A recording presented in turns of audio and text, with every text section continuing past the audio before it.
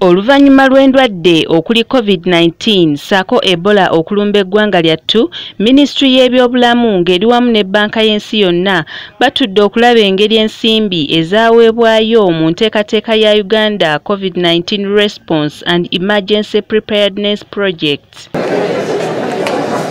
okusinziira ku muwandiisi w'enkalakkalira mu minisitule y'ebyobulamu dr diana atwine batudde okusobola okukubaganya ebirowoozo ku butya ensimbi ezaasigalawo bwe basobola okuzikozesa okutumbula ebyobulamu. Nga twali tutesitinga okulaba bwe tukozesa mode eno amalwaliro agakoze obulungi agewaddeyo negalaba balwadde ngaokusinzira indikata zaffe zetuba tukanyiza abantu netuba nga tubongera esente nga gyebakoma okukola obulungi gyebakoma n'okufuna esente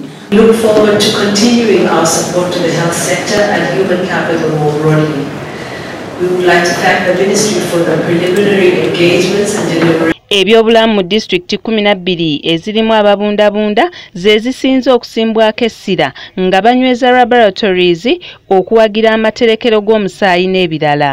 Ku kyabasawo abasoma abazze beemulugunya olw'obutasasulibwa mu budde dr. Diana atwina agamba nti omuwendo gw'abayizi abatendekebwa gubeera munene nnyo okusinga ku nsimbi ezibaweebwa. Basoma manyi twasalawo nti tubasasuleyo ka allowance. Kubanga bateekamu obudde bwabwe bwe baba basoma bateekamu obudde bwabwe nebakola ne balaba ku balwadde.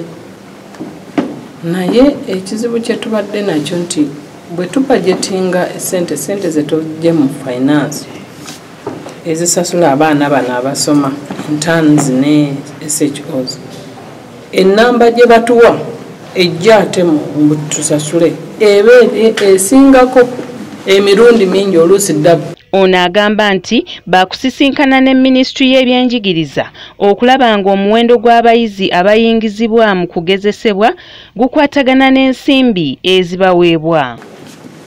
Tuloza education bwenaamanya ekintu kino nga bwe kitukosa nabo ne bakigonjoola mu kino dr. Dana atwina agamba nti omuwendo gw'abasawo abali mu lukumi ate aba senior house officers abali mu bibiri be basobola okusasula okusinziira ku bajeti ebeera ebaweereddwa. Dr dana atwine era alaze obwetaavu nga gavumenti bw'erina okussaawo enkola ey'okuvujjirira amalwaliro agabeera gakoze obulungi mu nteekateeka etuumiddwa result based financing model. Omuwendo kyandibadde kirungi ba internet bwaki ne tusasula abantu nga lukumi shos at least nga bibiri. Aba world bank nga bakulembeddwamu country manager mukani karuki beeyamye okwongera okuvujjirira uganda naddala mu nsonga z'ebyobulamu okutuusa nga uganda etuukiriza ekiruubirirwa kyakyo ekya 2040 carol nakibuule yabaddeyo ku la delta tv amasukkulumu